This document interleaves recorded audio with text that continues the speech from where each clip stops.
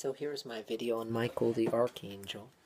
Every week I'm going to make it a habit, at least or either Sundays or Wednesdays, to do a video on Michael the Archangel because he's one of my favorite angels in the world. Um, Michael the Archangel represents all the protective forces in a person. He represents the throat chakra and in some cases the solar plexus from time to time. Um, Michael the Archangel comes from the word Michael, which means one who is like God. Now, before he was Christianized, Christianized, he was um, one of the protecting angels of the Hebrew tribes. Um, he's mentioned in the book of Daniel, in the book of Daniel 10, verses 13, and also in the book of Daniel, verses 12, verses 1. He's the angel who helps uh, deliver Daniel, the prophet who's thrown in the lion's den. Um, Michael, one who is like God in the Hebrew tongue, as, as he is called, um, he governs over the tribe of Judah as well, and one of his symbols is the lion. So, those who are born under a strong Leo influence have a strong connection with Michael. Um, Michael also governs over many people born under a one influence as he acts as a leader um, against the armies of hell. Now, this whole good and evil game, I'm not so up for it, but sometimes when the occasion calls for it, we play sides when necessary. It's all a balance anyway, which is why Michael generally holds scales in his hand, representing the aspect of balance and how it's necessary, not to completely kill the, the devil, which represents, of course, a person's ego, but rather Michael is standing on top of the ego, representing something that must be controlled. Now, in the book of Daniel and Tobit, and even in the book of Enoch, um, it emphasizes the role of Michael, Michael the archangel. It shows that he is the guardian prince. Later on, um, during the Renaissance era.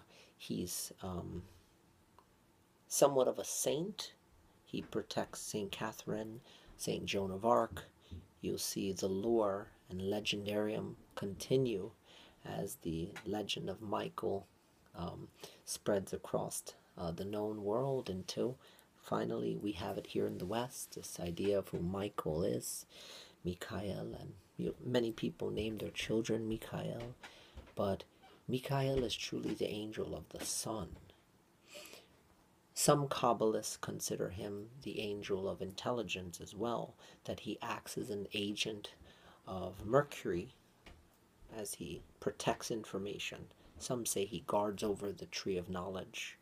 And um, he's also the angel of um, beauty, Tiferet, on the tree of life, which has the equivalency to the sun itself.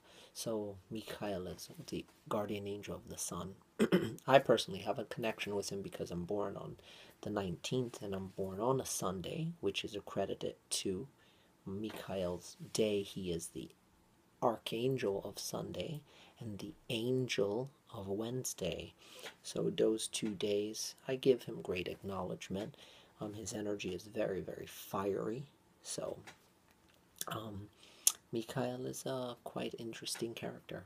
Now, over the years, of course, there were prayers developed to enact a form of protective rite to to bring, invoke the energy of, of Michael. There's an old prayer you can say in Hebrew. It's before me, Michael, to my right, to my left, and behind me, above me, guide and protect me. You can also say Mimini Mikhael Mosmoli Mikhael Milafnai Mikhael Miachrai Mikhael Baal Rashi Mikhael. you'll feel a flaming presence, especially when you vibrate it, like mi mi ni mi Kyle. You'll feel the energy.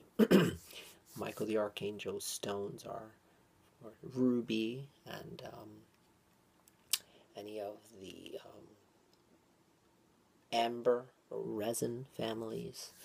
Um, kyanite, especially blue, connects to his sword. Um, Michael acts as the the uh, facilitator of knowledge between worlds. He protects.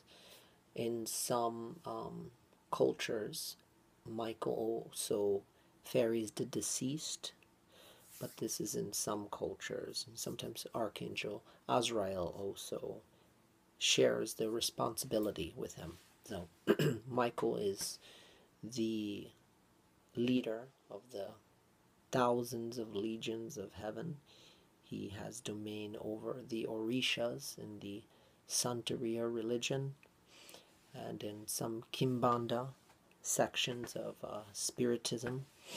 Um, you have Michael the Archangel as head of the Orishas.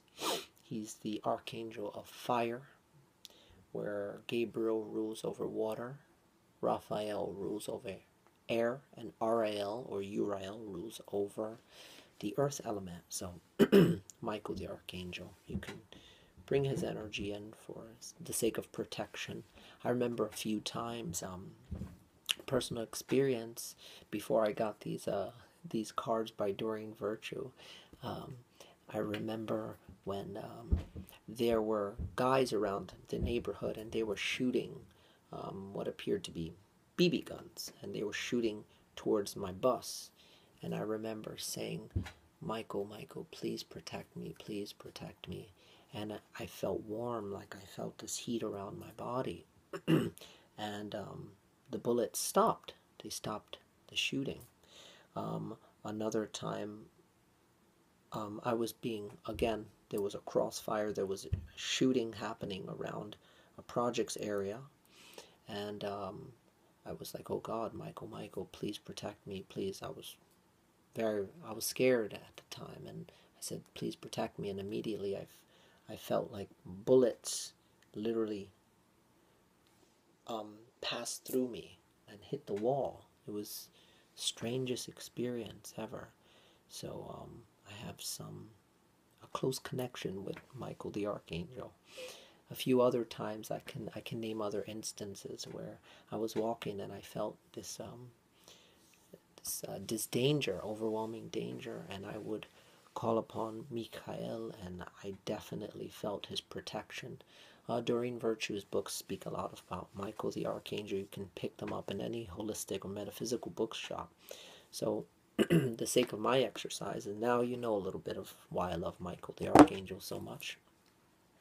Um, I use these for the sake of divination. Of course, you would knock on the cards, say Mikhail, Mikhail, Mikhail if you'd like to, or doing the, the Hebrew prayer which I showed you earlier. Mimini Mikhail, Musmoli Mikhail, Milafnai, Mikhail, Miachrai, Mikhail, Va'al Rashi, Mikhail. Take a few deep breaths and begin to shuffle. and we'll see what the message is. Here's a cute little statue. I love it. here we go. The message is new beginnings and a fresh start.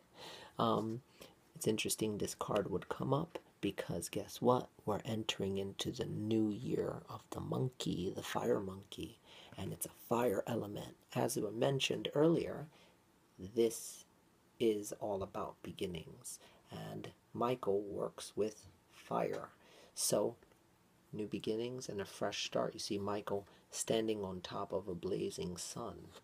And the message reads um, Thank you for bringing new opportunities and offering me support and for helping me release and heal my past. Fill me with trust as I experience these life changes. We just got out of Mercury retrograde and we're moving into the new lunar year um, entering into 2016 and it's it's been a, a rough one for a lot of people who are expecting change light workers especially were expecting these new changes to happen already.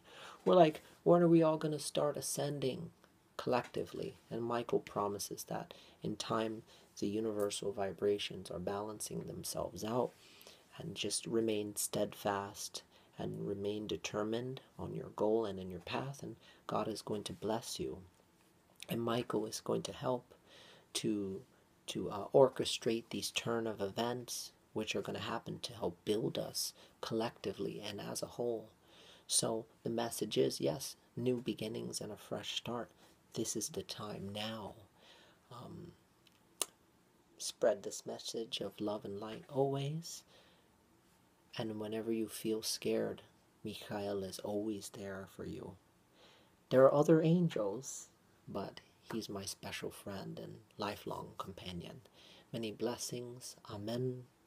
Selah. Amen. Peace and blessings upon you eternally.